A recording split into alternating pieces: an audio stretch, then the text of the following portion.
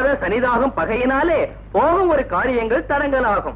நில்லாது பலவிதமாய் அலையச் செய்யும் நிஷ்டூரம் சிநேகிதரால் கவலையாகும். என்னமே சொல்ற? நிஷ்டூரம் நஷ்டூரம்? புரியுற மாதிரி சொல்லு. அதாவது குரு ஒன்பதாவது வீட்டுல இருக்கிறதுனால உங்க வீட்டுக்காருக்கு இன்னொரு தாரம் உண்டுன்னு சொல்றேன். என் வீட்டுக்காரருக்கு இன்னொரு தாரமா? அப்படின்னா? நிச்சயமா உங்க வீட்டுக்காருக்கு இன்னொரு சம்சாரம் வந்தே அ- அதாவது ஒண்ணு இல்ல என் மரும வரா அப்புறம் ஒண்ணு சொல்லாத. என்ன ஆண்டி? கோவிலுக்கு வந்து நின்னுட்டீங்க? சும்மா இந்த கிளி ஜோசியம் ஒரு நாளால அதான் பாத்துக்கிட்டு இருந்தேன். அங்கிள் எங்க? அங்கிள் எங்க? உங்களோட உள்ள? இல்லையே. எங்க? எங்க?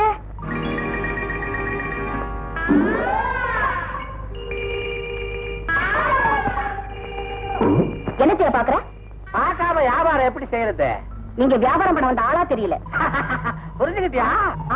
புரிஞ்சுகிட்டேன் ஒண்ணு இல்ல. சாமிக்கு தேங்காய் வாங்கினேன். பூஜை எல்லாம் முடிஞ்சு போச்சு. தேங்காய் வாங்கினது போதும். ஆ.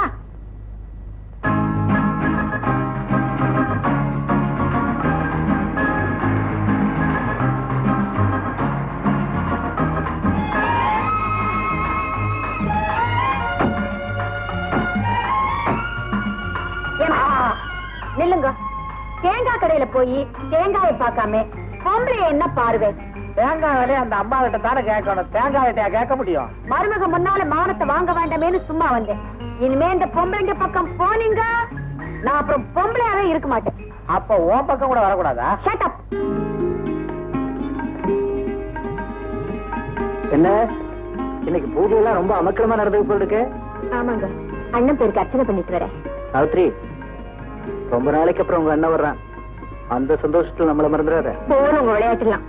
சீக்கிரம் புறப்படுங்க. ஃபிளைட் வர நேரம் ஆச்சு. Okay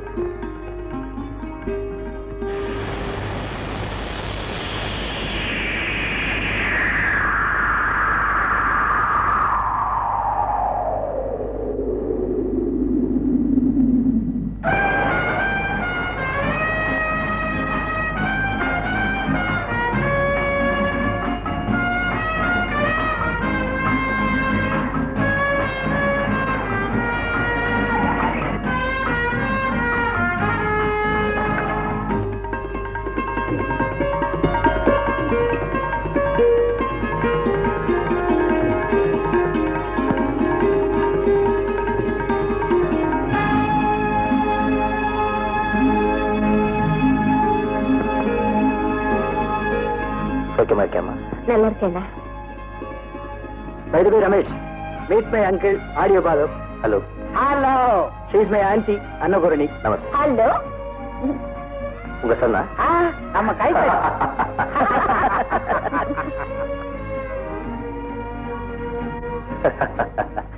வாய் ருச்சியா சாப்பிட்டு எவ்வளவு நாளாச்சு தெரியுமா? அதனால தான் உங்களுக்கு பிடிச்ச இட்லியோ மிளகா பொடியும் பண்ணிருக்கேன் very good very good when i was in south africa. ஆ ஒண்ணு இது ஒண்ணு சவுத் ஆப்பிரிக்கா மாட்டுக்கிச்சு வகிட்ட சும்மா இருங்க ma'am when i was in south africa every sunday நம்ம வீட்ல இட்லி மிளகா பொடி செய்வேன் பாரு. இவங்க ஆப்பிரிக்கன் ஃப்ரெண்ட்ஸ் பூரா கியூல நிப்பாங்க.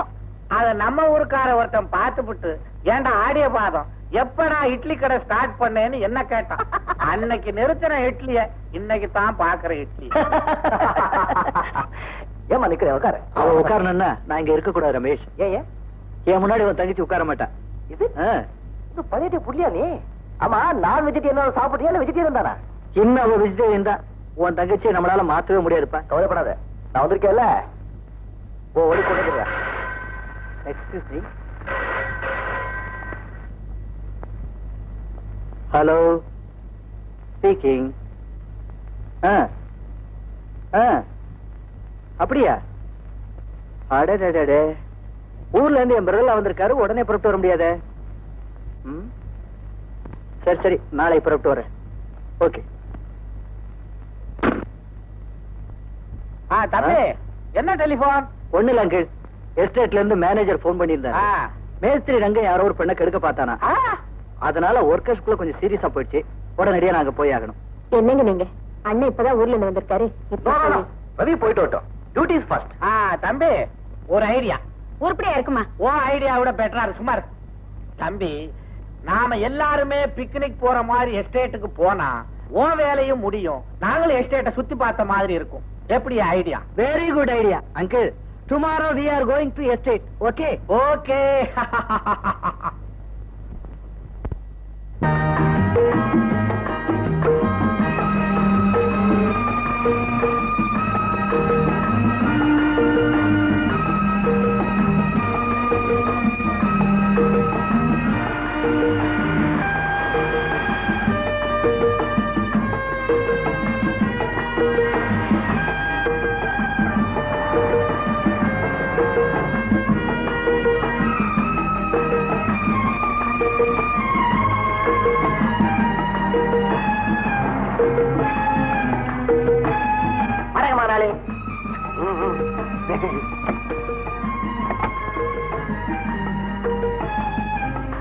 யாரு புதுசா இருக்கு? கேரளால இருந்து வந்திருக்கான் ஊம பையன். வாய் பேச மாட்டான். நீங்க எல்லாம் வர்றீங்களேன்னு ஒத்தாசிக்கு வச்சிருக்கேன். சரி சரி கார்ல திங்ஸ் எல்லாம் இருக்கு எடுத்து உள்ள வை. சரிங்க. ஆமா.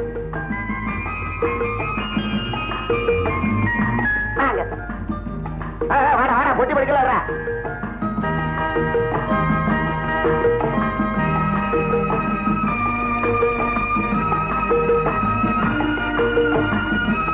என்ன ரமேஷ்? எஸ்டேட்லாம் எப்படி இருக்கு? ரியலி பியூட்டிஃபுல் எஸ்டேட் இது ஹனிமூனுக்கு அருமையான இடம். கவலைப்படாத. ஓ அனிமனுக்கு இங்கேயே ஏற்பாடு பண்ணிடுறேன்.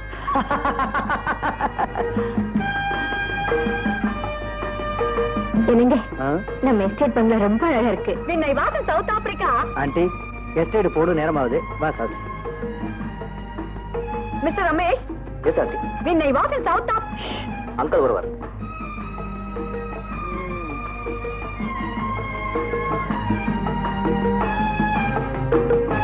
ஏண்டா கைத்தடி? ஐயா. இந்த ஊமைய பார்த்தா பையன் மாதிரி தெரியலையே. எனக்கு என்னமோ சந்தேகமா இருக்கு. சந்தேகம் வந்தா பாத்திர வேண்டியதானுங்க பார்க்காம விடுவேங்கறியா? உள்ள போனதுக்கு அப்புறம் பாரு வேடிக்கைய வாணி யோ யோ யோ. அந்த கிழவை என்ன ஒத்து ஒத்து பாக்குறான் ஐயா. யாரு? எங்க முதலாளியோட சித்தப்பாவா? ஆமாயா அவனை பார்த்தா எனக்கு பயமா இருக்குது. பேசாம விஷயத்த முதலாளிகிட்ட சொல்லிடு. இடிச்சனா கல்யாணம் ஆயிருந்தா சொல்லலாம் நாம பண்ற கசமசாவை எப்படி சொல்றது? அதுக்காக? பாரு ரெஸ்ட் எடுக்கிறதுக்கா வந்திருக்காங்க ரெண்டு நாள் தான் தங்குவாங்க. அது வரைக்கும் ஊம பையன் மாதிரி நடிச்சு அட்ஜஸ்ட் பண்ணிக்க. அது வரைக்கும் அந்த கிழவை என்ன விட்டு வச்சா தானே ஐயோ பாவம். வயசான கட்டை. செவனேன்னு கிடக்கும். இந்த வயசு பசங்களை நம்பலாம். வயசான கேசுங்களே நம்பவே கூடாது.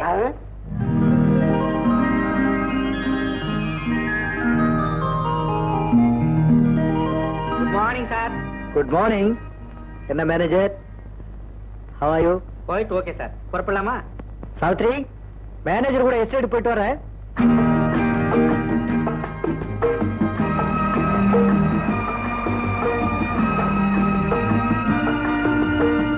மேனேஜர் எஸ் சார் நீங்க போய் ரங்கனை கூட்டிட்டு வந்துருங்க. சரிங்க சார்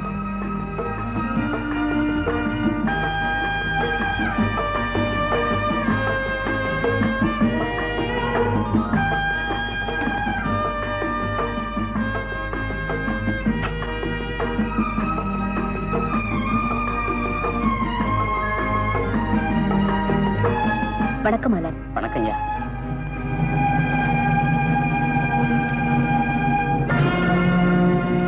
நடந்ததை முதலாளி கிட்ட சொல்லுங்கம்மா. ஐயா நான் வேலை செஞ்சுட்டு இருக்கும்போது மேஸ்திரியா என்கிட்ட முறைகேடா நடந்துக்கிட்டாரு. என் பொண்டாட்டி மட்டும் இவளை காப்பாத்தாம இருந்திருந்தா இவ குணத்தை தான் எல்லாரும் பாத்துக்க முடியும். ரங்கா இதுக்கு என்ன பதில் சொல்றேன் இது எஸ்டேட் முதலாளிக்கு சம்பந்தம் இல்லாத விஷயம்னு சொல்ல ஆசைப்படுறேன். தங்கம்மா எஸ்டேட்ல வேலை செய்யற ஒரு தொழிலாளி. அவளுக்கு ஏற்பட்ட அக்கிரமத்தை கேட்க எனக்கு உரிமை உண்டு. மரியாதை அவ காலில் விழுந்து மன்னிப்பு கேடு கேட்கலன்னா? உன்னை வேலையில இருந்து டிஸ்மிஸ் பண்ண வேண்டியிருக்கும். நான் மன்னிப்பு கேட்க தயாரா இல்ல. யூ ஆர் டிஸ்மிஸ் நீங்க போங்கம்மா அழகே டீ கேட்டு எவ்வளவு நேரம் ஆச்சுடா டேய்? ஐயா அந்த பக்கம் கொடுங்க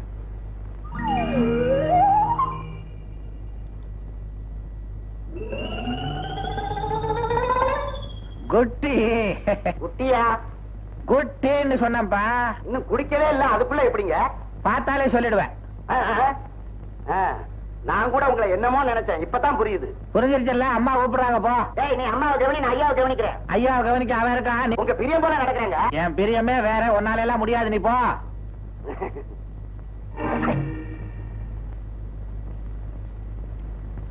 ஊமை?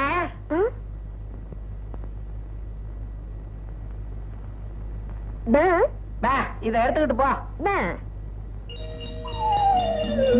எப்படி எடுக்கிறேன்னு பாக்குறேன் என்ன உன்னை யாரும் இந்த வேலையில பார்க்க சொன்னது? போகல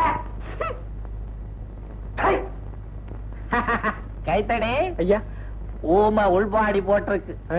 இந்த குட்டை எப்படி உடைக்கிறேன்னு பாரு.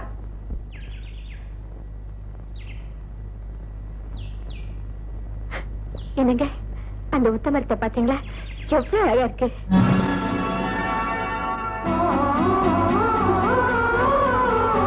வாங்க வாங்கண்ணா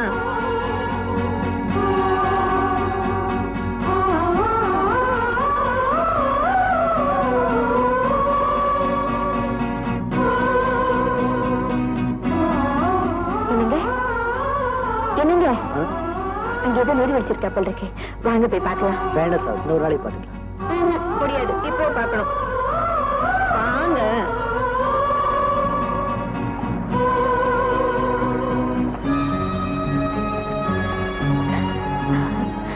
எவ்வளவு அழகா இருக்கு. என்னங்க? வாங்க கிட்ட போய் பார்க்கலாம். வாங்க.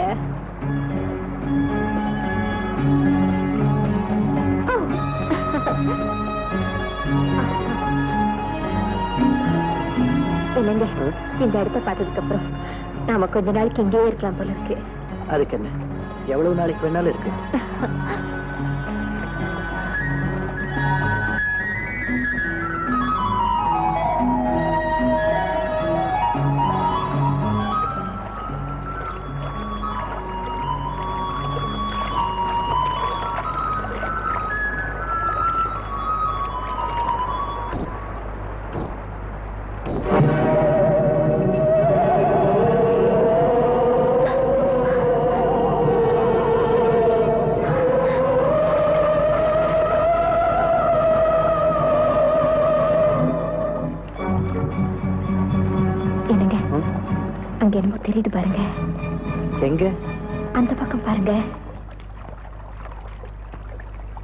அங்க ஒண்ணு இல்ல சாவித்ரி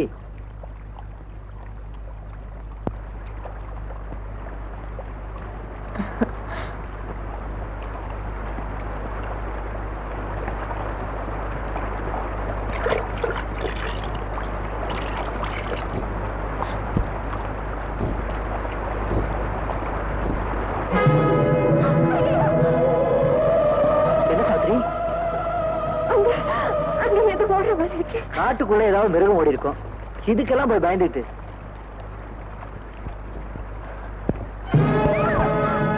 சாவித்ரி, ஏன் இப்படி பயப்படுற? அதே சத்தம். சத்தமா? எனக்கு ஒண்ணு கேட்கலையே. என்னாச்சு உனக்கு? எனக்கு ரொம்ப பயமா இருக்கு. சரியான பயந்தா முடி. சரி போலாம்.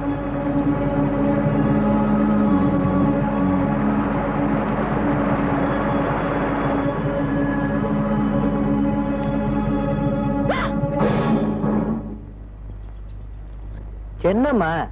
எவரோ பின்னால என் புடைய பிடிச்சு எடுக்கிறாங்க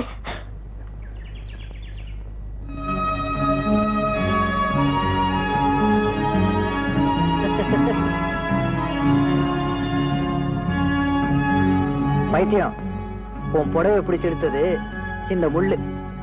இதுக்கு போய் பயந்துட்டு. வா.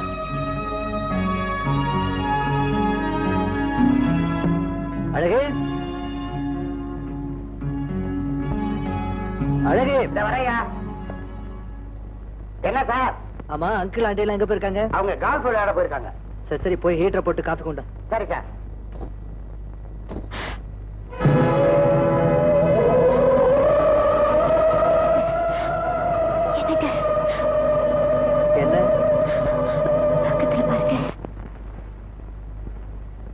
என்ன? பக்கத்துல ஒண்ணு இல்லையே.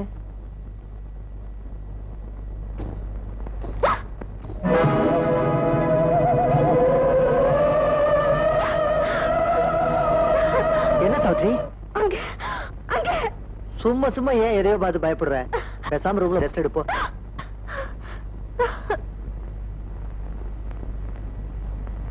அம்மாவுக்கு என்னங்க? ஒண்ணு இல்ல அழகு. ஃபால்ஸ் பக்கம் போயிருந்தோம் எதையோ பார்த்து பயந்துருக்கா. அதான். ரொம்ப பயந்த சுபாவம் போல இருக்கு.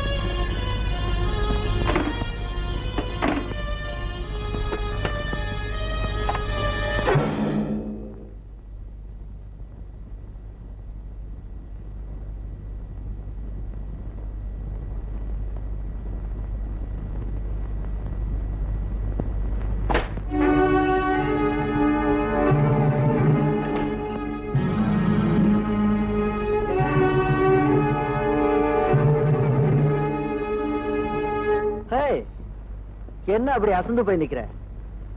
இன்னும் உனக்கு பயம் தெரியலையா? சரி சரி. போய் ட்ரெஸ் எல்லாம் எடுத்து வை. நான் குளிச்சுட்டு வந்துடுறேன்.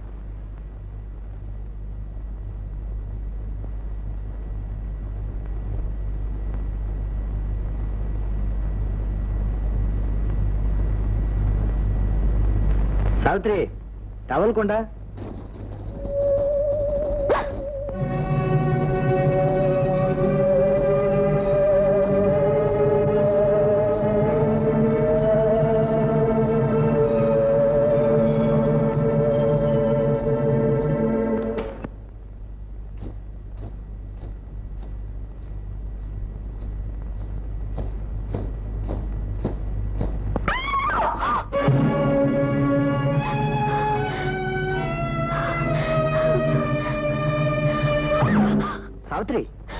என்னாச்சு உனக்கு? அங்கே. என்ன அங்க? பைத்தியம் மாதிரி வா.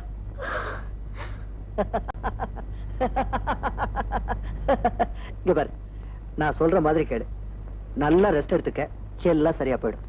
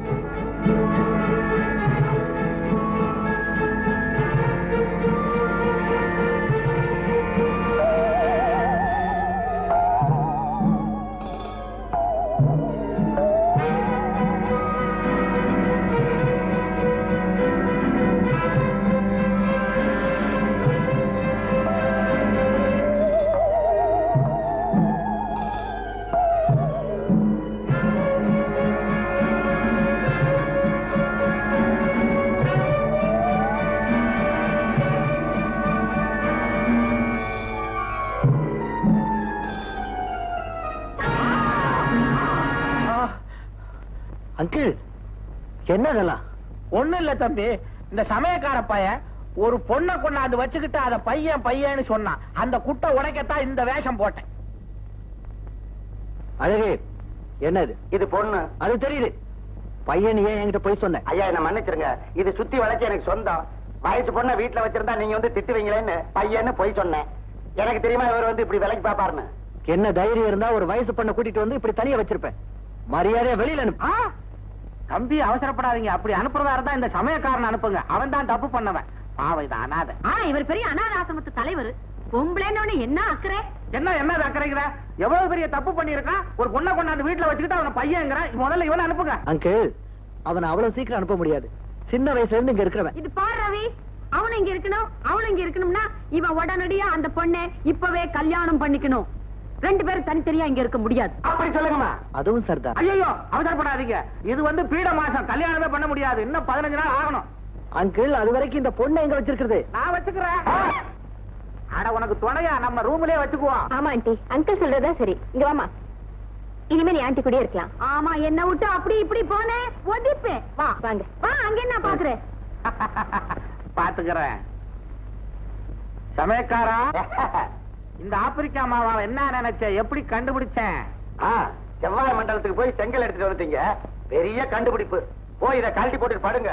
கண்ணாடியை பார்த்தா நீங்களே பயந்துருவீங்க. இத போட்டதே கண்ணாடிய பார்த்துத்தான். பயமா இல்ல? கண்ணாடிக்கா எனக்கா?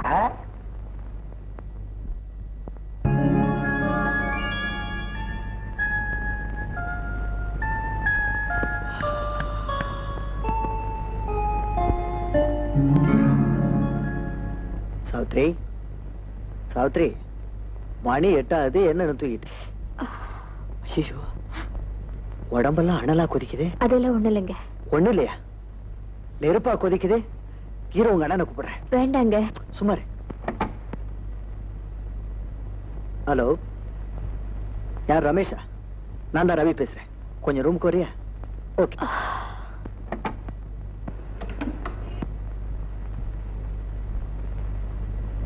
ரமேஷ் சாவித்திரிக்கு ஹை டெம்பரேச்சர் இருக்கு. என்னன்னு பாரு. அப்படியா? லைட்டா ஃபீவர் இருக்கு. கேப்சூல் சாப்பிட்டா சரியா போயிடும். இரு கொண்டு வரேன். நோனா? நீ உட்காரு. நான் கொண்டு வரேன். அண்ணா. என்ன சாவித்ரி எனக்கு என்னவோ ரொம்ப பயமா இருக்கு. பயமா? ஏதோ ஒரு உருவம். என்ன பயமுறுத்திட்டு இருக்கு. ராத்திரி அங்கிள் கருப்பு துணியை போட்டுக்கிட்டு போறத பார்த்து பயந்தே இல்ல அந்த ரியாக்ஷன் தான் இது. என்னமோ ரமேஷ். இவ இங்க வந்ததுல இருந்த ஒரு மாதிரியா இருக்கா? எதையோ பார்த்து பயந்துருக்கா? இந்த இது சாப்பிடு. சரியான குழந்தையா இருக்க.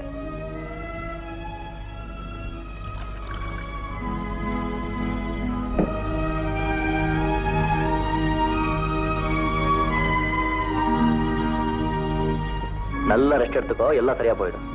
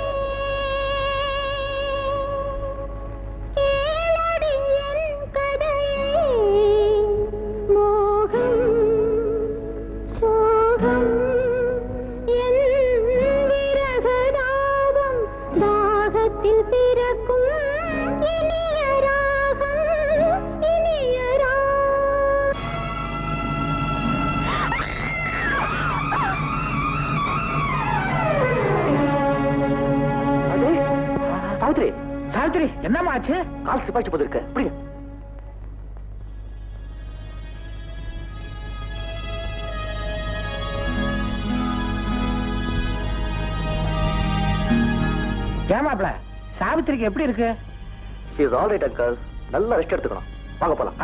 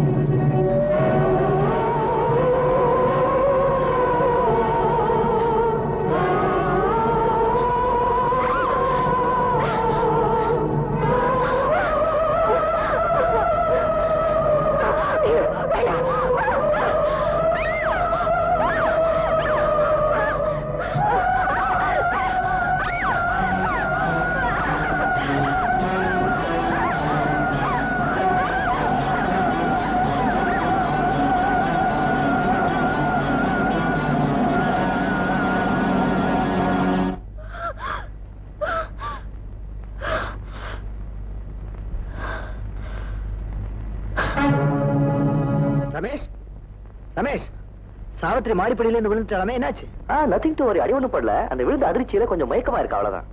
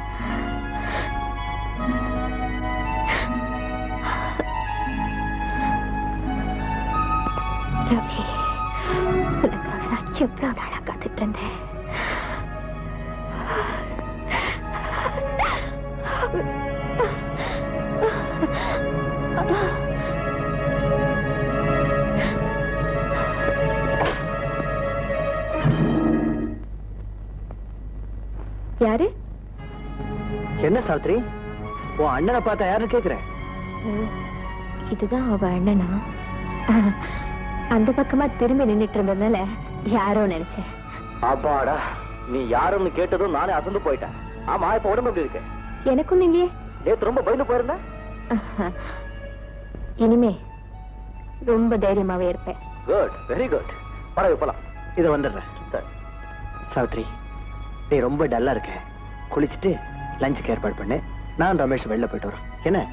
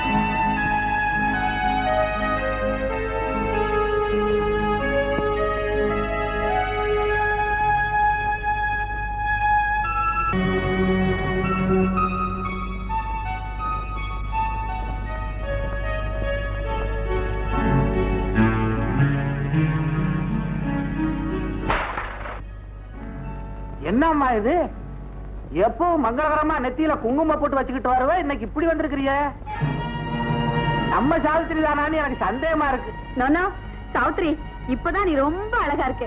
என்ன மாதிரி பாப் கட் பண்ண இன்னும் அழகா இருப்ப. நீங்க நாங்களா? ஆண்டி சாவித்திரிக்கு இந்த சாரி ரொம்ப அழகா இருக்குல்ல? அங்கிள் இந்த சாரிய வாங்குற எத்தனை கடை ஏறி இறங்கிருக்க தெரியுமா? ஓஹோ இதான் அங்கிள் ஆண்டியா.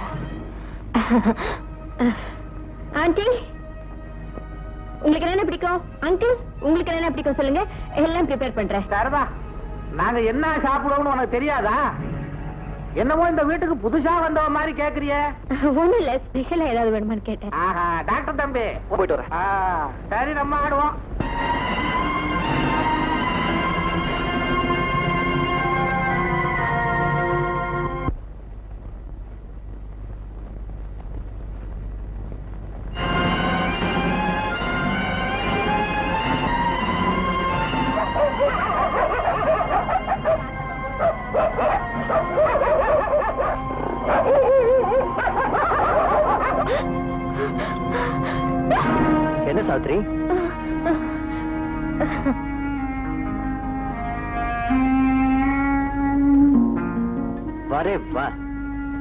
இந்த Dressல நீ எவ்வளவு அழகா இருக்க தெரியுமா? என்னங்க? நான் இந்த மாதிரிலாம் ட்ரெஸ் பண்ணா உங்களுக்கு பிடிக்குமா? பிடிக்குமாவா?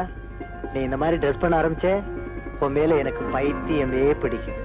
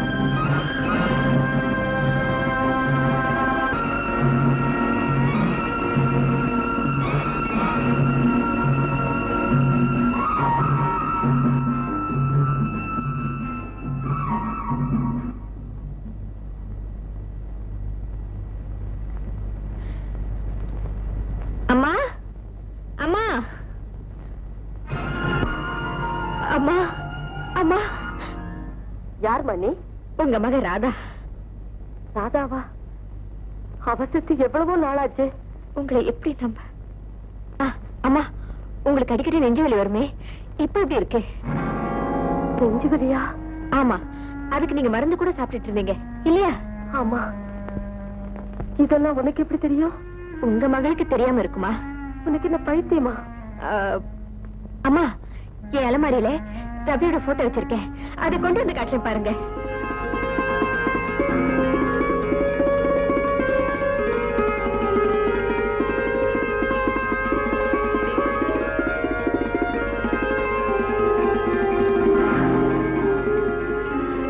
இத பாருங்கம்மா.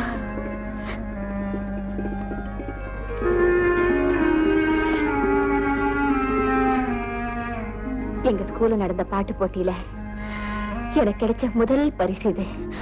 இதாவது உங்களுக்கு ஞாபகம் இருக்கா? நீ சொல்றதெல்லாம் பார்க்கும்போது என்னால எதையும் நம்பவும் முடியல. நம்பாம இருக்கவும் முடியல. என்ன நம்புமா? நான் உன் மகதான் இறந்து போன ராதாவே தான். அவ உருவம் இப்படி இருக்காது. இந்த உருவம் மட்டும்தான் வேற. ஆத்மா ராதா உடையது ஆமா. நான் ரவியோட வாழ முடியாமலேயே செத்து போயிட்டதுனால ஆவியா அலைஞ்சிட்டு இருந்தேன் என் ஆசையை நிறைவேற்றிக்கதா இந்த உடம்புக்குள்ள புகுந்திருக்கேன். அப்போ இந்த உடம்பு ரவியோட மனைவி சாவித்திரியுடையது. இப்பவாவது என்ன நம்புறியாமா உன் வாயால என்ன ஒரே ஒரு தடவை ராதான்னு கூப்பிடுமா? ராதா அம்மா. அம்மா இனிமே இந்த உடம்பு விட்டு நான் பிரியவே மாட்டேன். என்னம்மா சொல்ற? அம்மாவாசைக்கு இன்னும் அஞ்சு நாள் இருக்கு. அதுக்குள்ள நானும் ரவியும் ஒரே ஒரு நாளாவது கணவன் மனைவியா வாழ்ந்தா போதும். அதுக்கப்புறம் நிரந்தரமா இந்த உடம்புலயே தங்கிடுவேன். ஒருவேளை நான் ரவியோட சேர முடியாம போச்சுன்னா அப்புறம் எனக்கு ஒரே ஒரு வழிதான் இருக்கு. என்னம்மா? அமாவாசை அன்னைக்கு.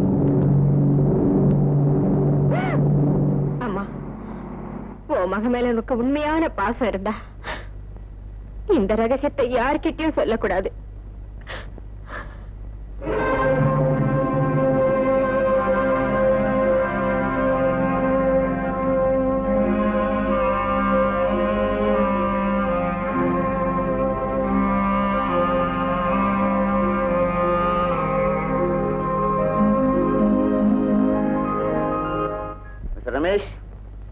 ஆவி ஆத்மாங்கிறதுலாம் உண்மைதான். புராணங்கள்ல கூட இதுக்கு நிறைய ஆதாரம் இருக்கு. மகாபாரத யுத்தத்துல எதிர நின்றுட்டு இருந்த சகோதரர்களை கொல்ல முடியாம தவிச்சுக்கிட்டு இருந்த அர்ஜுனனை பார்த்து கிருஷ்ண பரமாத்மா சொன்னது ஞாபகம் இருக்கா? அர்ஜுனா நீ கொல்ல போவது சரீரத்தை தான் ஆத்மாவை இல்ல. ஏன்னா சரீரம் அழிஞ்சிரும் ஆத்மா அழியாது. ஆத்மா மீண்டும் மீண்டும் ஜென்மம் எடுக்கும் அப்படின்னு. ஜெர்மன் விஞ்ஞானிகள் ஒளிப்பதிவு செய்ததா இந்தியன் எக்ஸ்பிரஸ்ல வந்திருக்க? ஆவி உண்டு ஆவியோட நாம பேசலாம்னு விஞ்ஞானிகள் ஒத்துக்கிறாங்களே. ஓகே டாக்டர் நீங்க சொன்ன மாதிரி ஆவி இருக்குன்னு வச்சுக்குவோம். அப்படி இருந்தாலும் அது வேற ஒரு உடல்ல எப்படி நுழைய முடியும்? இத்தாலி நாட்டு விவசாயி ஒருத்தர் உடம்புல ஜெர்மன் டாக்டர் ஆவி புகுந்ததா ரீடர் டைஸ்ட்ல வந்திருந்தது. விவசாயம் மட்டும் தெரிஞ்ச அவரு திடீர்னு மேஜர் ஆபரேஷன் பண்ண ஆரம்பிச்சிட்டார். அது மட்டும் இல்ல இத்தாலி மொழி மட்டும் தெரிஞ்ச அவரு ஜெர்மன் மொழியில எல்லாம் பேச ஆரம்பிச்சிட்டார். இதையெல்லாம் பார்க்கும்போது ஆவி இருக்குன்னு ஒத்துக்கிட்டானே வேணும்? அது சரி ராதாவோட ஆவி என் தங்கச்சி சாவித்தோட உடம்புல புகுந்துருச்சு அப்போ சாவித்தோட ஆவி என்னாச்சு டாக்டர் ஆவேசத்தோட மயக்கி கொண்டு போக முடியும். ஆல்மோஸ்ட் லைக் சோம்னாமிலிசம் ஓ இது ஒரே குழப்பமா இருக்கு. டாக்டர் என் தங்கச்சியை நான் எப்படியாவது காப்பாத்தி ஆகணும். மிஸ்டர் ரமேஷ் உங்க தங்கச்சி காப்பாத்த ஒரே ஒரு வழிதான் இருக்கு. என்ன டாக்டர்? வர்ற அமாவாசை வரைக்கும் ரவி அவளோட தாம்பத்திய உறவு வச்சுக்காம உங்களால பாத்துக்க முடியுமா? நிச்சயம் முடியும் doctor. I will do I will Then there is no problem. I wish you the best of luck. Doctor. அறுபத்து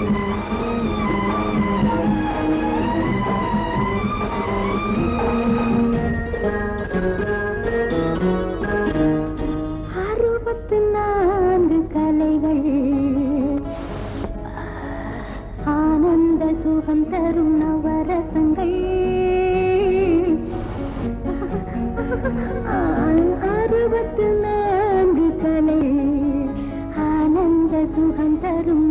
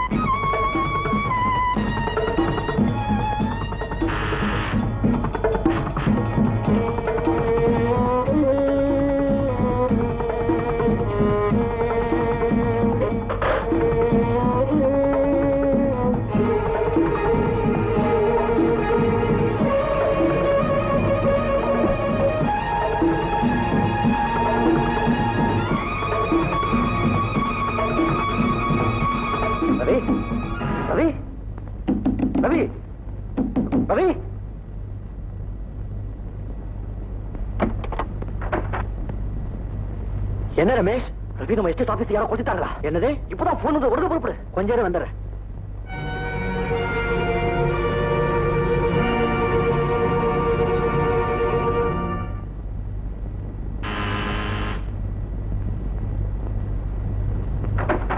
என்ன சார் இந்த நேரத்துல? மேனேஜர் நம்ம எஸ்டேட் ஆபீஸ் யாரோ தீ வச்சுட்டாங்க போன் வந்து அதான் ஓடி வந்தோம். அப்படி ஒண்ணும் இல்லையே. அப்படி ஒண்ணும் இல்லையே. ரமேஷ் யாரோ வேணும்னு தான் டெலிபோன் பண்ணிருக்காங்கன்னு நினைக்கிறேன். காரணம் இல்லாம ஒருத்தர் சும்மா இது போன் பண்ணுவான். எனக்கு என்னமோ ரங்கமே ரொம்ப சந்தேகமா இருக்கு. எதுக்கும் ரவி சேஃப்டியா? இன்னைக்கு போய் டிக்கெட் தங்கிடலாம் அப்ப சாவித்திரி ஃபோன் பண்ணி சொல்லிடுறேன். நோ ஃபோன் பண்ணா ஏதாவது ஃபீல் பண்ணுவா. நாளை ஃபோன் பண்றேன்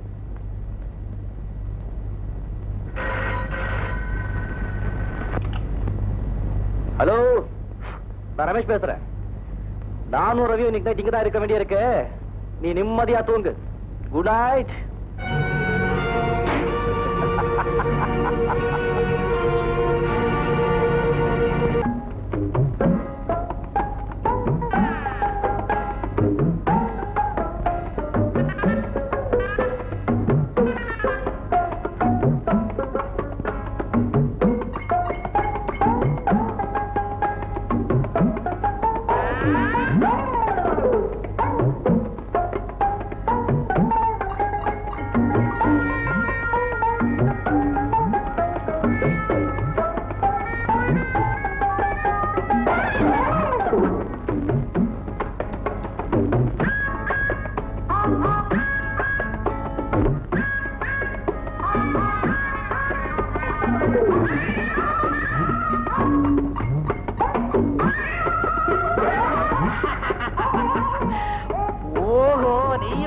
நீயும் இருக்கிறியா? என்ன மாதிரியே அவளுக்கு என் பேர்ல ஒரு ஆசை. என்ன? முதல்ல தடவுனா இப்ப கிள்றா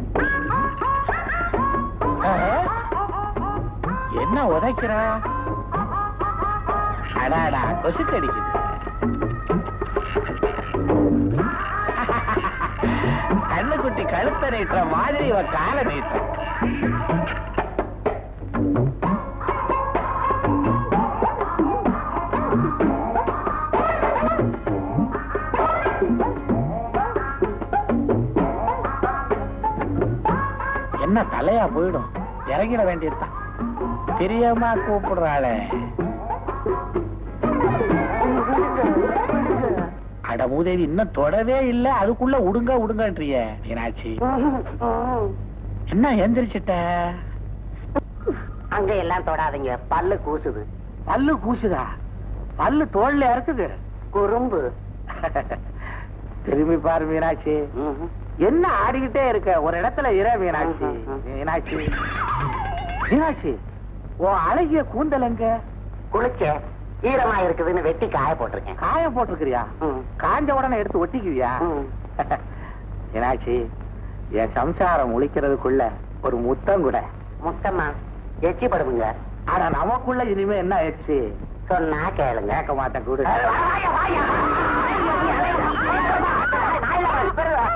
என்னங்க கலட்டா ஏமே நான் கட்டி வச்சிருந்தேன் எப்படி இங்க வந்தீங்க இவன் தான் கூப்பிட்டான். ஏய் நீ ஏன் இங்க வந்த இது என்ன ட்ரெஸ் பாவாடை ஜாக்கெட் அம்மா மீனாட்சி இங்க படுத்திருக்கிறாளே.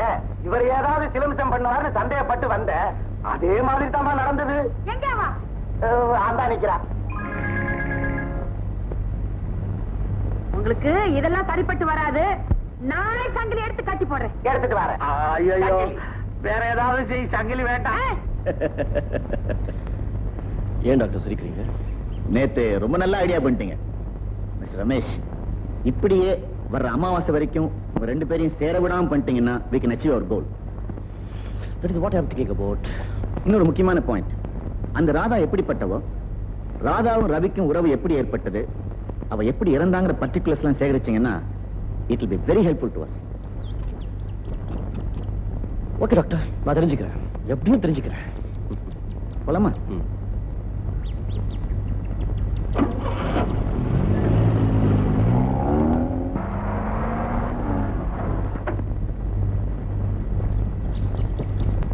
See you, doctor. Bye bye. Ravi? Ravi? வாங்க சார். எல்லாரும் உங்களுக்காக தான் காத்துட்டு இருந்தாங்க. இப்பதான் பக்கத்து எஸ்டேட்டுக்கு விருந்துக்கு போயிருக்காங்க. நீங்க வந்த உடனே உங்களையும் அனுப்ப சொன்னாங்க. இப்ப டைம் ஆச்சு இங்கே சாப்பிடுறேன். சரி சார்.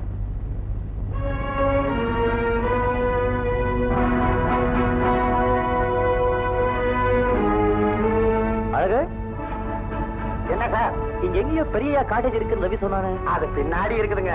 பெரிய இங்க வந்தா அங்கதான் தங்குவாரு. அவர் இறந்ததுக்கு அப்புறம் சின்னையா வந்தாலும் அங்கதான் தங்கிக்கிட்டு இருந்தாரு. இப்ப என்னமோ கொஞ்ச நாளா அந்த பக்கமே போறதில்ல. ஐயா நீங்க வந்து சாப்பிட்டீங்கன்னா இப்ப விட நான் அப்புறம் கூப்பிடுறேன்.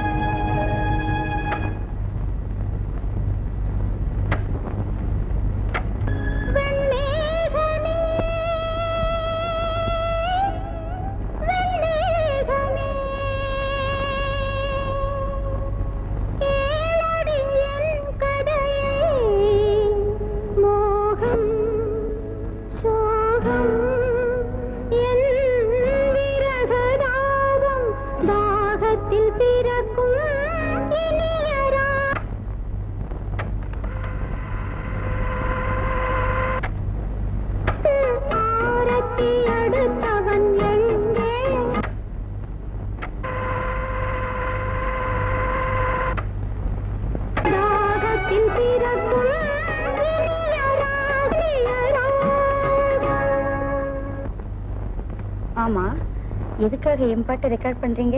நான் ரூம்ல தனியே இருக்கும்போது உன் போட்டோவை பக்கத்துல வச்சுக்கிட்டு இந்த டேப்பை போட்டு கேட்பேன்.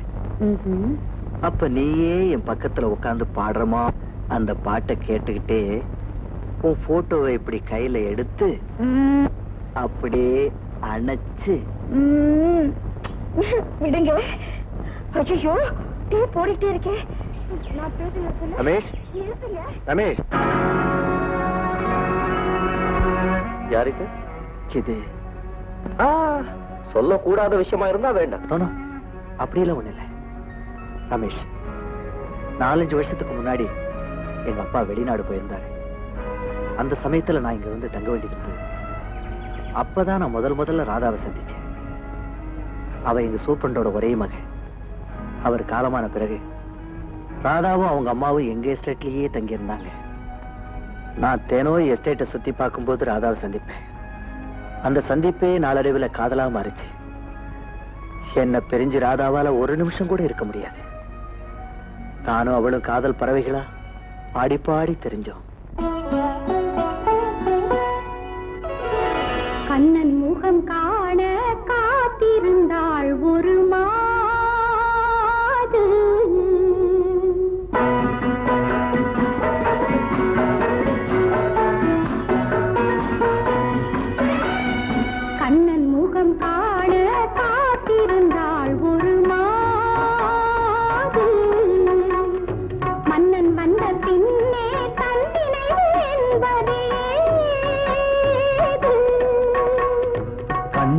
சொர்க்கம் காண காத்திருந்தாள் ஒரு மாது. மன்னன் வந்த பின்னே தன் நினைவு என்பது ஏ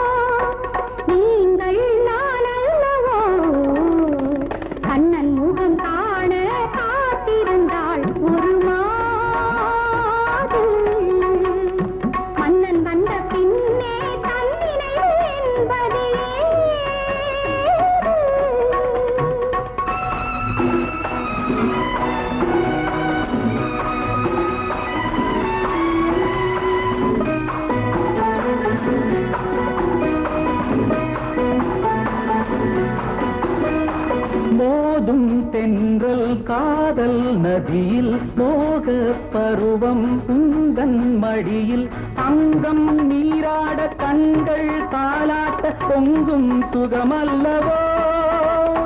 தங்க கிண்ணங்கள் வைர கண்ணங்கள் கவிதை தேரல்லவோ?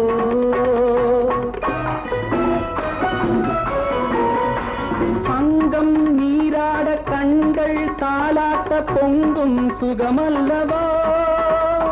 தங்க கிண்ணங்கள் வைர கண்ணங்கள் கவிதை தேரல்லவோ? கவிதை தேரல்லவோ? கண்ணன் முகம் காண காத்திருந்தாள் ஒரு மாது மன்னன் வந்த பின்னே தன் நினைவு என்பது ஏ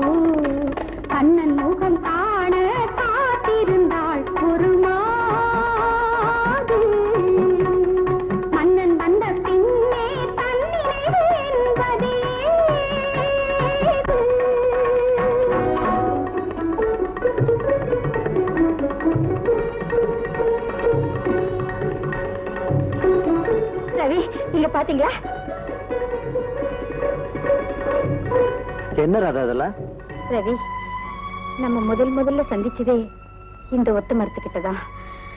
இதே மரத்தை சாட்சியா வச்சுட்டா நம்ம காதலையே உறுதிப்படுத்திக்கிட்டோம். அதுக்கு அடையாளமாத்தான் நம்ம ரெண்டு பேர் பேரையும் இந்த மரத்திலேயே செதுக்கி வச்சிருக்கேன். எப்படி இருக்கு ரவி? ஏன் ராதா? நீயே நம்ம பேரை பிரிச்சிட்டியே. அப்படி மட்டும் சொல்லாதீங்க. உங்களை பிரிஞ்சு ஒரு நிமிஷம் கூட இந்த ராதாவால உயிர் வாழ முடியாது. பாத்தியாக்கா உன் பொண்ணு லட்சணத்தை? அடி பாவி! அம்மா நான் சொல்றத கேளு தம்பி உங்களை கையெடுத்து கும்பிடுறேன். இந்த பேசுறத மரியாதையா பேசு. மரியாதையாவே சொல்றேன். என் மரப்பொண்ணு வாழ்க்கையோட விளையாட நினைச்சா வெட்டு ஒண்ணு துண்டு ரெண்டு தான் ஜாக்கிரதை. நீ வேணா முறை மாப்பிள்ளையா இருக்கலாம். ஆனா அவ உன்னை கல்யாணம் பண்ணிக்க விரும்பல. அத சொல்ல நீ யாரு? அவளை கல்யாணம் பண்ணிக்க போற மாப்பிள்ளை. என்ன சொன்ன? அக்கா! போடா. போடா. மாடி அம்மா! தம்பி முள்ளுல சேலைப்பட்டாலும் சேலையில முள்ளு பட்டாலும் நஷ்டம் சேலைக்கு தாங்கிறது. என் பொண்ணு தெரிஞ்சுக்கலையே நான் வருத்தப்படுறேன். அம்மா நீங்க என்ன தப்பா நினைச்சிட்டீங்க. சத்தியமா நான் ராதாவை கைவிட மாட்டேன். அவளை நீங்க ஏத்துக்க சம்மதிக்கலாம். ஆனா சாதாரண சூப்பரண்டோட மகளை மருமகளா ஏத்துக்க உங்க அப்பா சம்மதிக்கணுமே. அம்மா இப்பவே இதுக்கு ஒரு முடிவு கட்டுறேன். ராதா வாங்கி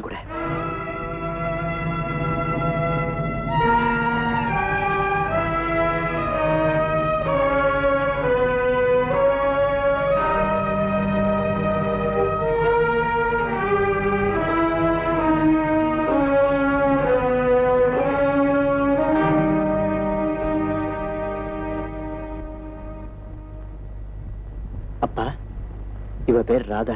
ஓஹோ. இறந்து போன சூப்பரன் மக ராதா இவதானா? ஆமாப்பா. நானும் இவ்வளவு பாருமா நானும் என் மகனும் கொஞ்சம் தனியா பேசணும். ராதா கொஞ்சம் வெளியில இரு.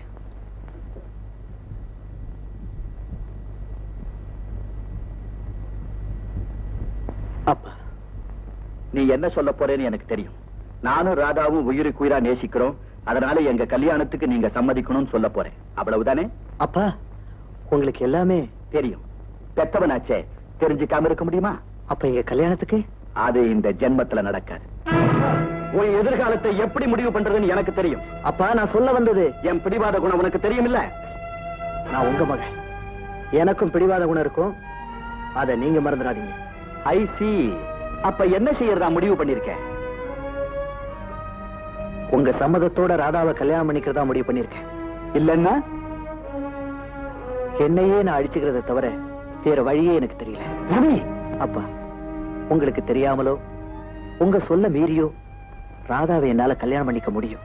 ஆனா உங்க மேல மதிப்பு மரியாதை வச்சிருக்கிறதுனாலதான் இந்த பிரச்சனையை உங்க முன்னால கொண்டு வந்திருக்கேன். ரவி! சொல்ல வேண்டியதை சொல்லிட்டேன். முடிவு உங்க பதில பொறுத்தது.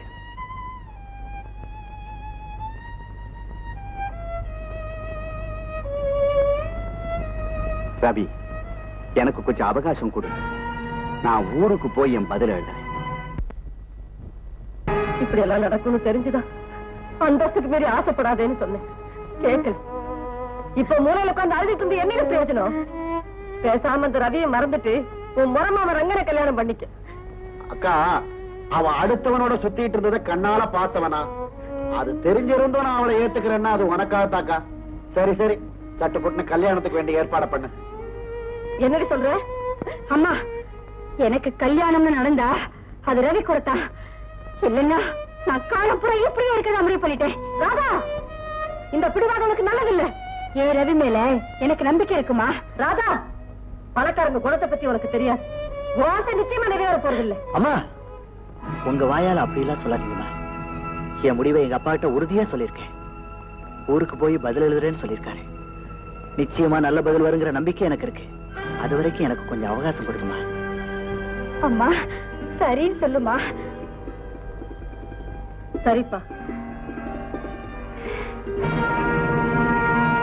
எங்க அப்பாவோட பதிலுக்காக நானும் ராதாவும் ஒவ்வொரு நாளும் காத்துக்கிட்டு இருந்தோம். கடைசி எங்க அப்பா கல்யாணத்துக்கு சம்மதிச்ச லெட்டர் எழுதியிருந்தாரு. அந்த சந்தோஷ செய்தி சொல்ல ராதா வீட்டுக்கு போனேன். ராதாவை காணோம். நாங்க சந்திக்கிற ஒவ்வொரு இடமா தேடி போனேன். கடைசியா அந்த அருவிக்கு கீழே.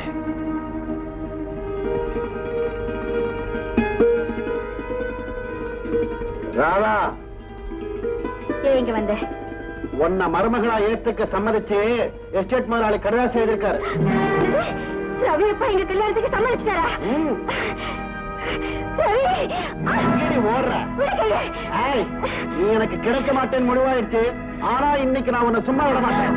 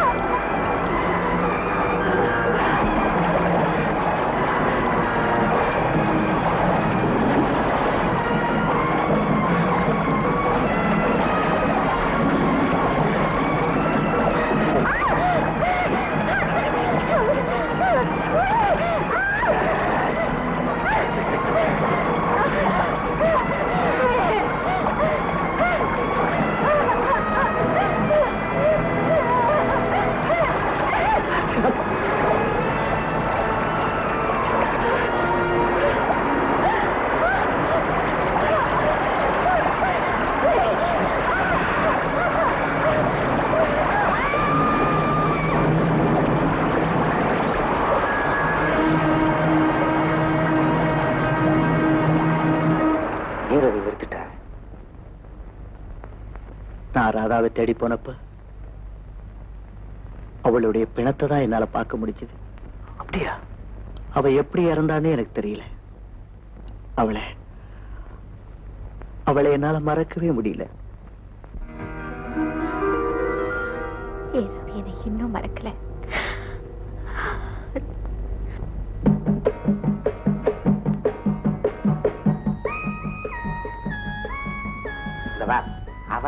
ஆபத்து உள்ளூர்லயே வரும். நமக்கு ஆப்பிரிக்கால இருந்து வந்திருக்குது வேற ஆடிய பாதம்ங்கிற ரூபத்துல. இந்த ஆளு அங்க என்னென்ன ஆட்டம் போட்டானா கப்பல் ஏத்தி விட்டாங்க. இது என்ன இங்க கருப்பா இருக்கு? நல்லா சிரிக்கிறியே.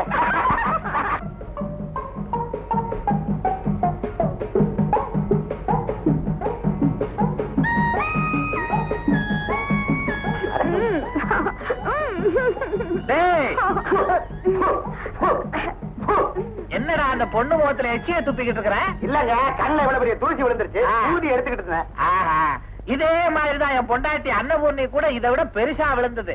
நானும் எடுத்திருக்கேன் ஆனா ஒன்ன மாதிரி எடுத்தது இல்ல எடுத்துட்டியா? பாதி எடுத்து அதுக்குள்ளதான் நீங்க வந்துட்டீங்களா. மீதிய நான் எடுக்கிறேன் நீ போ.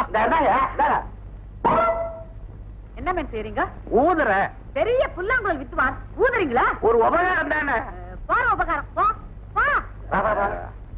அவனோட போறேன்.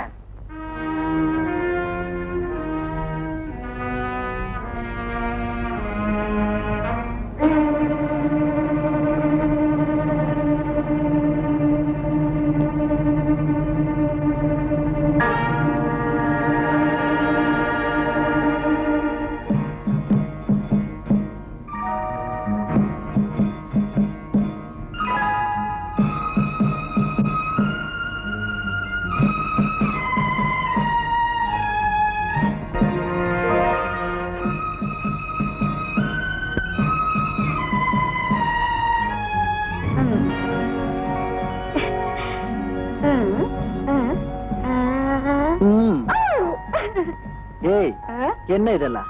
மரம் பூரா ராதா ரவி ராதா ரவின்னு கிறுக்கி வச்சிருக்க உனக்கு என்ன பைத்தியமா பிடிச்சிருக்கு ரவி?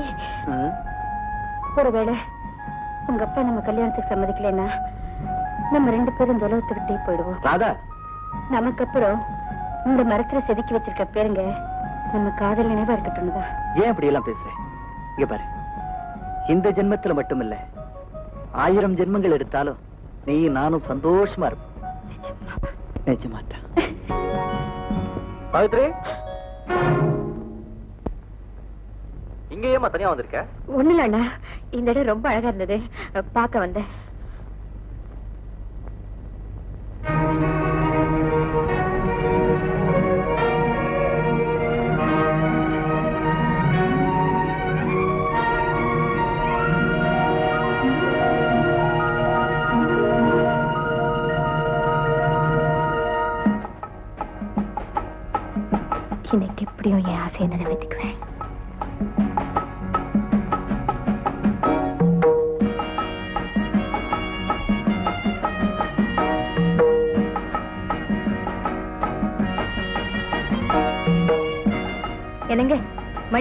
போகுது. வந்து படுங்க. இத வந்துட்டேம்மா. சாவித்ரி இது ரெண்டாவது ஆட்டம் தானே. உங்க அண்ணன் தோக்க கூடாதுல்ல அக்கள் கழிச்சு போடுங்க. கொண்டா கொண்டா.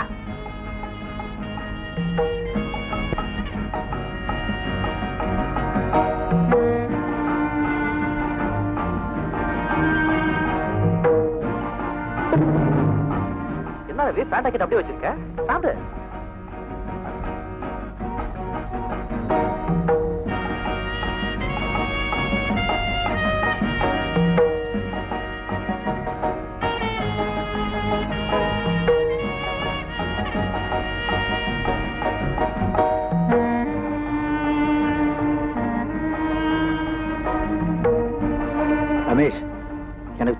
நான் போய் படுக்கிறேன். அம்மா சாவித்ரி!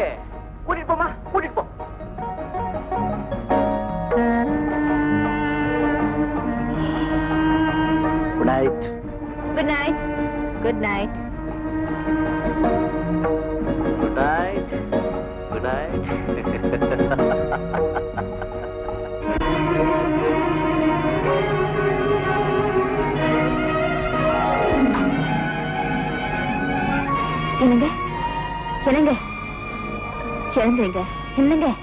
என்னங்க? எழுந்துருங்க. என்னங்க?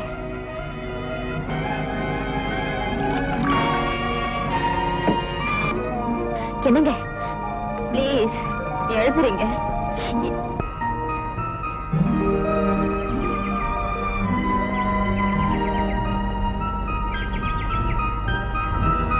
சாவித்ரி? சாவித்ரி.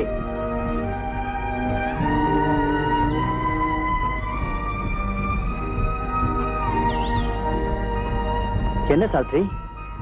ஏன் கண்ணெல்லாம் சிவந்திருக்கு? ராத்திரி பூரா நீ தூங்கலையா? உன் கோபத்துக்கு காரணம் என்னன்னு எனக்கு தெரியும். இன்னைக்கு ராத்திரி. எஸ் என்ன மேனேஜர் நீங்க வந்திருக்கிற நேரத்துல இங்க ஒர்க்கர்ஸ் நடக்குது. நீங்க அவசியம் கலந்துக்கணும்னு ஒர்க்கர்ஸ் விரும்புறாங்க. அதுக்கு என்ன கண்டிப்பா கலந்துக்கிறேன். நீங்களும் வந்துருங்கம்மா. சரி. ரொம்ப தேங்க்ஸ்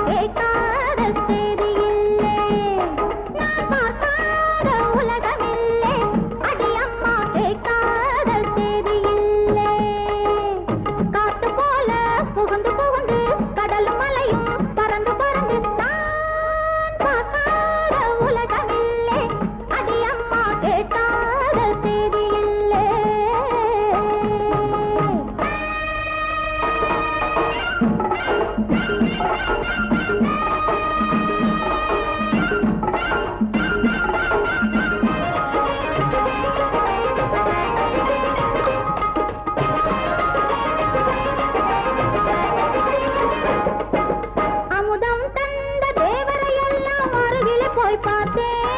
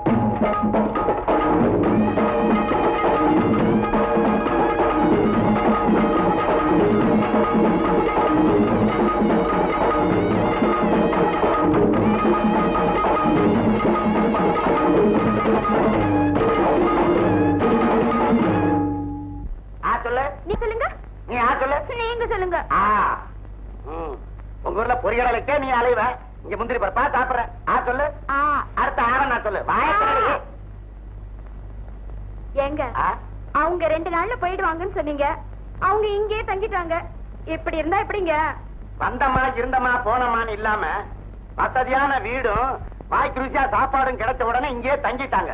இருக்கட்டும் இருக்கட்டும். இந்த ஆப்பிரிக்கா காண்டாமிருகம் ஆடிய பாதத்துக்கு இன்னைக்கு ஸ்பெஷலா ஒரு ரசம் வைக்க போறேன். அத சாப்பிட்டா அவ்வளவுதான். எலும்ப தவிர எல்லாம் இழைச்சிரும். என்ன ஆ காட்டுங்க? வெறும் முந்திரி பருப்பா போடாதடி. கிஸ்மிஸ் பழத்தையும் மிக்ஸ் பண்ணி போடு. எழுது சீக்கிரமா போயிட்டு வாடி. இதெல்லாம் கிடைக்கும் போது சாப்பிட்டா தான். நினைக்கும் போது கிடைக்காது. சத்துணவா சாப்பிடு. அப்பதான் வயசு காலத்துல தாங்கும். என்னடி வெறும் முந்திரி பருப்பா போடுற? கிறிஸ்மஸ் பழம் என்ன ஆச்சு? என்ன பாத்திர சத்தம் நீங்களா? யாரா காண்டாமிருகம் அது நம்ம எஸ்டேட்ல ஒரு ஆப்பிரிக்கா காண்டாமிருகம் அலையுது. ரெண்டு பேர் துப்பாக்கி வச்சுட்டு அலையுறாங்க. இவங்க சுட்ட பாடும் இல்ல அது செத்த பாடும் இல்ல. அத சொன்னேன். காண்டாமிருகம் தான் ரசம் சாப்பிடுமா? அட என்னங்க? பட்டணத்துல பத்து மாடு பேப்பர் திங்குது. ஒரு வீட்டுல கிளி கருவாடு திங்குது. காண்டாமிருக ரசம் சாப்பிடுறதுல என்ன ஆச்சரியம்? சமையல் கட்டுக்குள்ள நீ என்ன பண்ற? சமையல் கட்டுல என்ன சலவையா பண்ணுவாங்க? சமையல் தான். இதை ஏன் தின்னுகிட்டு இருக்கிற அப்புறம்? இதா பாயாசம் வைக்க போறேன். திறக்க சாம்பிள் பார்த்தேன். என்ன பாயாசம்? பால் பாயாசம். பை பார்க்கலாம். நீங்க போங்க. என்ன வேலை செய்ய விடுங்க. நீ எப்படி வேலை செய்யறேங்கிறதையும் பாக்குறேன் இருங்க. இருக்க. இருங்க ஐயா. நீ என்ன சொன்னாலும் சரி. நீ என்ன வேலை இங்க செய்யறேன்னு பார்த்துட்டு தான் போவேன். இங்கேயும் விட மாட்டீங்க. இப்படித்தான் இந்த வீட்டு கணக்கு பிள்ளை இங்க வந்து உட்கார்ந்து கணக்கெடுப்பேன்னு உட்கார்ந்தாரு. ஆ. கேஸ் வெடிச்சு ஒரு சைடே வெந்து போச்சு. இருக்கீங்களா? உனக்கு வந்ததுக்கு அப்புறம் தானே எனக்கு வேகம். பாப்போமே. இருங்க இருங்க!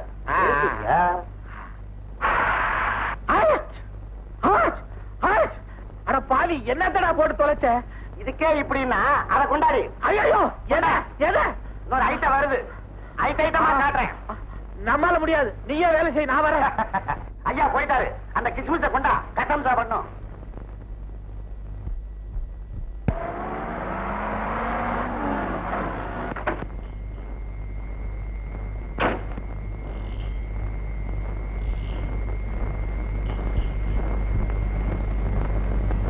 டாக்டர் சார் என்னையாவும் அம்மா மேல இல்லங்க.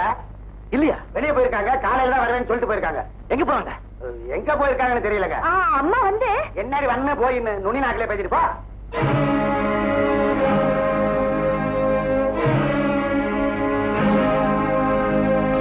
அறிவு கெட்டவளே எனக்கு தெரியாதா?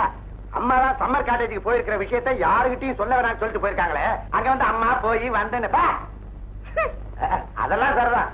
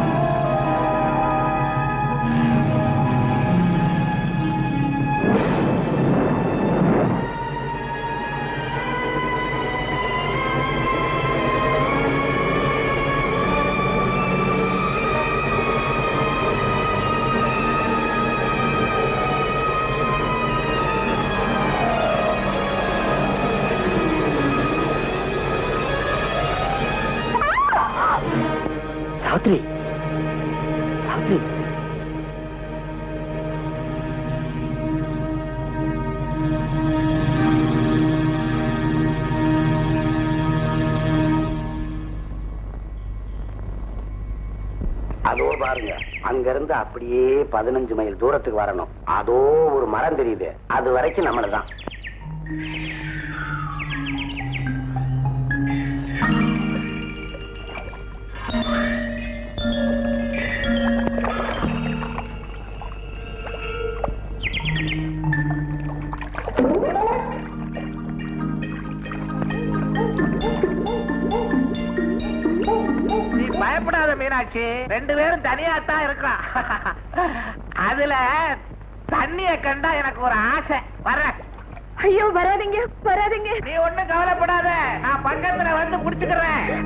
உடம்பெல்லாம் சிலுக்குதுங்க.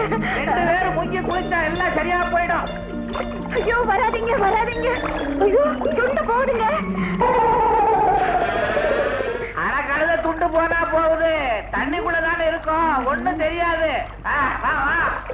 மீனாட்சி நம்ம ரெண்டு பேரும் முங்கி முங்கி விளையாடுவோமா? சரி. ஒண்ணு ரெண்டு ஐய என்ன உங்களுக்கு தம்மே இல்லையே? ஒரு அஞ்சு நிமிஷம் உள்ள இருக்க முடியுமா? அஞ்சு நிமிஷமா. ஐம்பது நிமிஷம் இருப்பேன். சரி பார்க்கலாம். நீ? நானும் இருக்கேன்.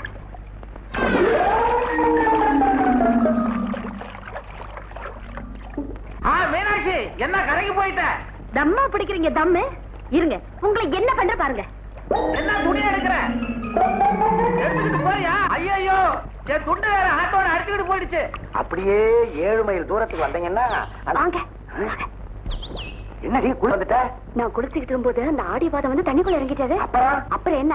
அவரை தண்ணிக்குள்ள இறக்கி விட்டு நான் பேண்ட் ஷர்ட் தூக்கிட்டு வந்துட்டேன். நல்ல வேலை செஞ்ச. இங்க வா. அம்மா அம்மா. ஐயாவுடைய பேண்ட் சட்டும் தாமா மிச்சம். ஏய் என் புருஷன் எங்க? ஐயா ஆட்டோட. ஆத்தோட போயிட்டாரா? வாங்கம்மா காட்டுறேன். என்ன சொல்ற மேல் வாங்க சொல்றேன். போங்க. பாத்தீங்களாமா பதினெட்டு வயது கட்டிலங்காளைய. ஏமேன் உனக்கு புத்தி இல்ல? காதோரம் நினைச்சு போச்சு வயசானது தெரியல? ஆப்பிரிக்காவில தான் அலைகிறேன் இங்கே கூட்டிட்டு வந்தா இங்கேயும் அலையிறியே உன்னை எங்கே மேல் கூட்டிட்டு போவேன் தண்ணிக்குள்ள என்ன மேன் பண்ற? ஜலக்கிரீட பண்ற? ஐயோ நான் இல்ல. நான் குளிக்க வந்த ஆத்துக்கு கரையில துணிய வச்சுட்டு அவதான் துணியை எடுத்துக்கிட்டு விளையாடுறா. எல்லாம் எனக்கு தெரியும். நீங்க கரைக்கு வர வேண்டாம். தண்ணிக்குள்ளேயே இரும். ஆமா. ஆத்துல விழுகிறதெல்லாம் அணையில தான் வந்து தங்குதான் நாம அங்க போவோம். ஐயாவும் அணைக்கு வந்துருவாரு. ஐயோ அடி பாவி நான் கட்டின புருஷன்டி கையளவு துணியாவது கொடு. இனிமே கண்ட பொம்பளைங்கள்ட்ட இந்த மாதிரி தப்பா நடப்பீங்களா? நான் நடக்கல அவதான் நடந்தா. இல்ல நீங்க தண்ணிக்குள்ளேயே இருங்க. ஆஹா, இனிமே நான் தப்பே பண்ண மாட்டேன். துணியை கொடு. இதுதான் உனக்கு லாஸ்ட் வார்னிங் டாக்டர் இது வரைக்கும் அவங்க ரெண்டு பேரையும் சேர விடாம தடுத்துட்டேன் இன்னைக்கும் அவங்களை எப்படியாவது தடுத்துடுவேன். ஆனா அதுக்கப்புறம் ரவி என்ன செய்வான் தான் தெரியல. ராதாவோட ஆவி அவங்க அம்மா கிட்ட கடைசியா சொன்ன விஷயத்தை எப்படியா தெரிஞ்சுக்கிட்டீங்கன்னா நம்ம ப்ராப்ளத்தை ஈஸியா சால்வ் பண்ணிடலாம். ஓகே டாக்டர் எப்படியும் தெரிஞ்சுக்க முயற்சி பண்றேன். குட் குட் அம்மா. யாரு? ஆமா டாக்டர் என் பேர் ரமேஷ். உங்ககிட்ட ஒரு முக்கியமான விஷயம் கேட்கலாம்னு வந்திருக்கேன். என்ன? நாலஞ்சு நாளுக்கு முன்னால ஒரு பொண்ணு வந்து உங்ககிட்ட பேசிக்கிட்டு இருந்ததே. அது என் தங்கச்சி. உங்க தங்கச்சியா? ஆமா. இறந்து போன உங்க மக ராதாவோட ஆவி இப்ப என் தங்கச்சி உடம்புல புகுந்திருக்குன்னு அன்னைக்கு அவ உங்ககிட்ட சொன்னதுல இருந்து புரிஞ்சுக்கிட்டேன்.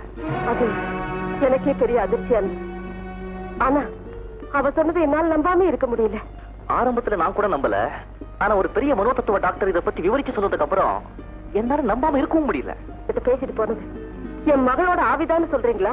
ஆமாமா அவ கிட்ட இருந்து என் தங்கச்சி எப்படியாவது காப்பாத்தி ஆகணும். அதுக்கு நீங்க தான் உதவி செய்யணும். நானா? ஆமா அன்னைக்கு அவ உங்ககிட்ட பேசும்போது கடைசியா அமாவாசைக்குள்ள ரவியோட ஒரு நாளாவது வாழணும். இல்லைன்னா அப்படின்னு ஏதோ சொல்லும்போது திடீர்னு பிளேன் போறதுனால கேட்க முடியல. அவ என்ன சொன்னாங்கிறது மட்டும் சொன்னா போதும். அம்மா உன் மக மேல உனக்கு உண்மையான பாசம் இருந்தா இந்த ரகசியத்தை யார்கிட்டயும் சொல்லக்கூடாது. என்னம்மா பேசாம இருக்கீங்க? சொல்லுங்கம்மா. ப்ளீஸ் தயவு செஞ்சு அதை மட்டும் கேட்காதீங்க. நான் சொல்ல மாட்டேன். நான் சொல்ல மாட்டேன்.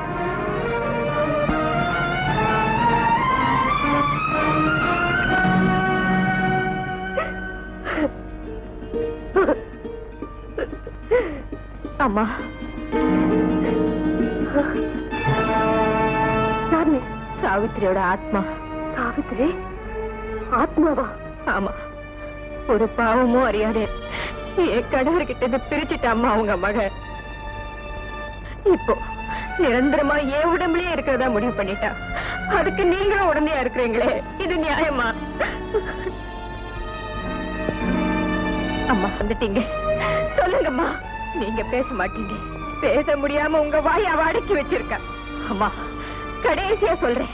அற்ப ஆயுசோட போயிட்ட உங்க மகன் ஒரு சுமங்கலியோட விளையாட நினைச்சா அதனுடைய பயனை அவ மட்டுமல்ல நீங்க நிச்சயம் அனுபவிச்சே தீரணும். ஆமா.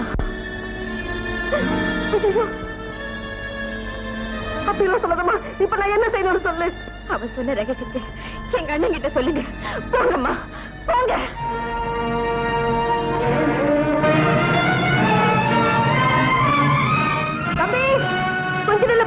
என்னம்மா? உங்களுக்கு நான் ரகசியத்தை சொல்லிடுறேன். சொல்லுங்கம்மா சொல்லுங்க.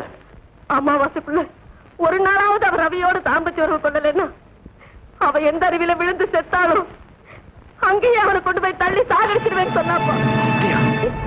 நான் சொன்னதெல்லாம் அதை பண்ணி. கடைசி நாள்லாம் நல்லபடியா சமைச்சிட வேண்டியதுதான். ஆடியவாதம் போப் போறாரு.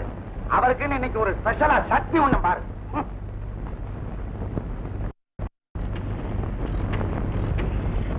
எஸ் ரவி ஹியர் என்னம்மா? இன்னைக்கு மட்டுமாவது. சீக்கிரமா வந்துருங்க. இப்ப புறப்பட்டு வர ஓகே.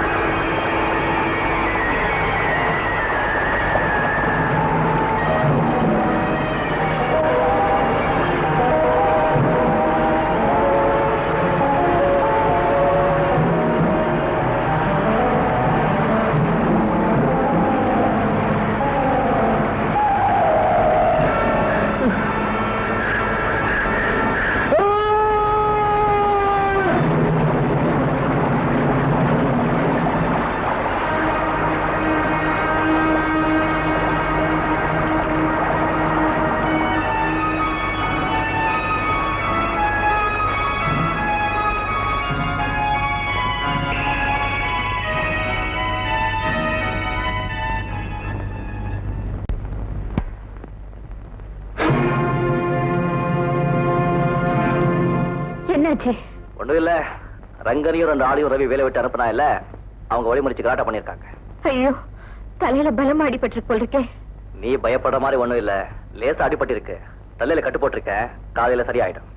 அண்ணா அவர் அப்படியே கொஞ்சம் மாடி கூட்டிட்டு வந்துறேன். ரவி இங்கேயே தூங்கட்டும். இன்னைக்கு ஒரு நாள் நான் கூட இருக்கேன். அண்ணா. நீ நிம்மதியா போய் தூங்கு. ரவியை நான் கவனிச்சுக்கிறேன்.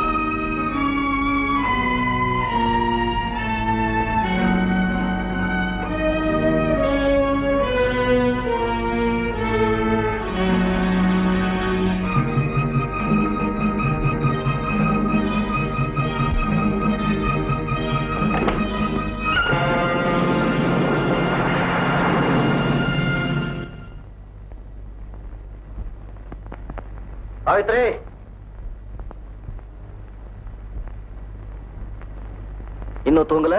அவருக்கு இப்படி இருக்கும்போது எப்படி தூக்கம் வரும்? அவரை பாத்துக்கத்தான் நான் இருக்கிறேன். நான் அவர் மனைவி. எனக்கு இல்லாத உரிமையா உங்களுக்கு? நீ மனைவியா இருந்திருந்தா அந்த உரிமை நான் உனக்கு கொடுத்திருப்பேன். அப்போ நான் அவர் மனைவி இல்லையா? உருவத்துல மட்டும்தான் அப்படின்னா?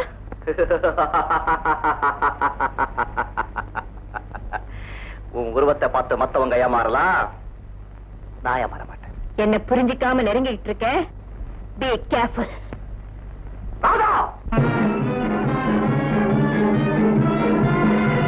ராதா வேதா எந்த ரவிக்காக இவ்வளவு நாளும் அழைஞ்சுக்கிட்டு இருந்தனோ அந்த ரவி அழைச்சிட்டு போக வந்திருக்கிற ராதா தான். அது நடக்காது. நடக்காதா? நீ சாதாரண மனுஷன். உன்னை விட சக்தி வாய்ந்தவனா. எங்களை பிரிக்க உன்னால முடியாது. பொழுது விடுஞ்சிட்டா? என்னை பொறுத்த வரைக்கும் பொழுது விடிய போறதில்ல. பார்க்கலாம். பார்க்கலாண்டி. பார்க்க தானே போற குட் நைட்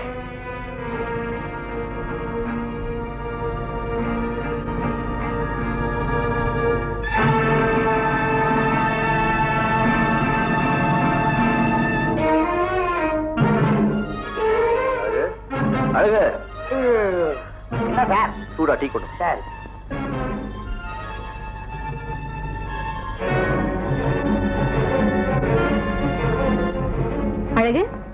என்னம்மா என்ன நீங்க தூங்கலையா? தூக்கம் வரல. எனக்கு டீ கொண்டு வா. கொண்டார.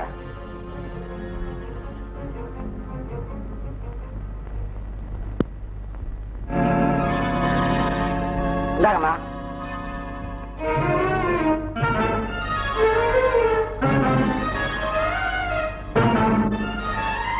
இந்தாங்க சார். வேற ஏதாவது வேணும்னா குரல கொடுங்க. நான் வர்றேன்.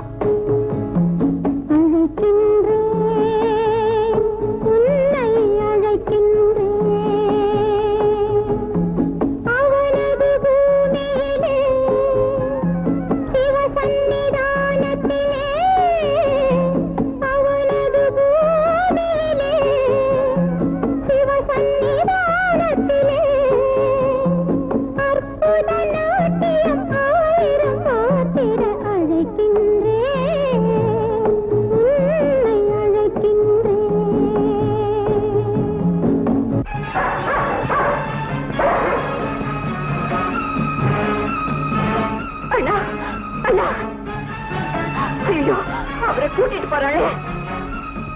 அண்ணா அண்ணா. அண்ணா எழுதுறீங்க அண்ணா.